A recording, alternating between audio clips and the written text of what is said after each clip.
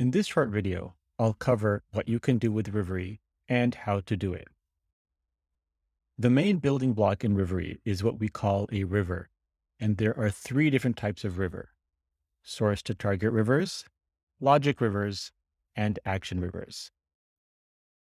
Source to target rivers are used to create simple data pipelines that get data from your source and push the data into your target destination.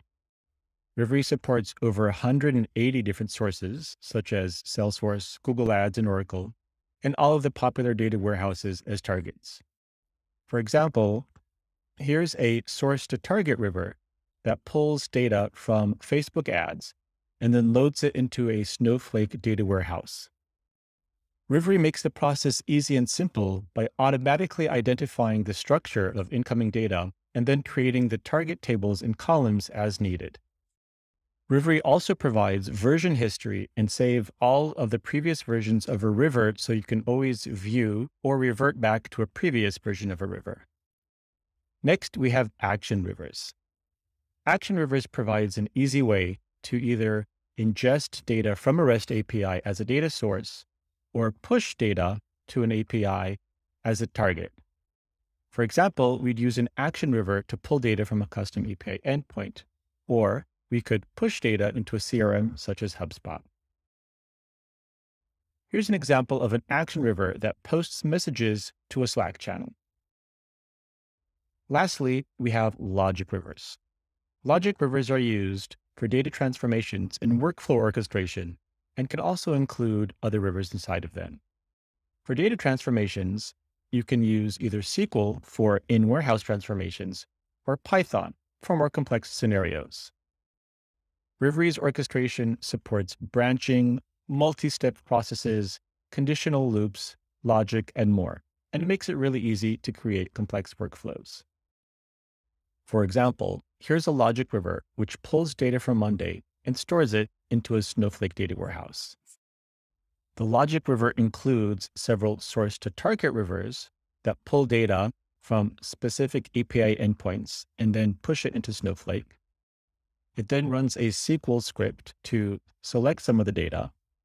It then loops over the results from the SQL script and takes some more action with some specific branching. Next, we have Rivery kits.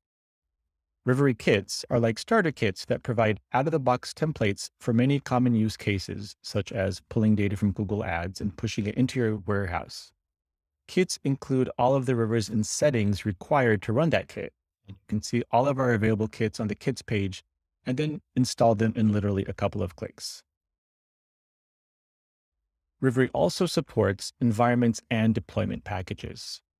Rivery supports multiple environments, each with its own rivers and environment variables. So you can give each development lifecycle stage, such as dev, staging, production, its own environment. Deployment packages are then used to copy rivers and their settings from one environment to another. Environments can also be used to support multiple internal teams, each with its own walled off environment.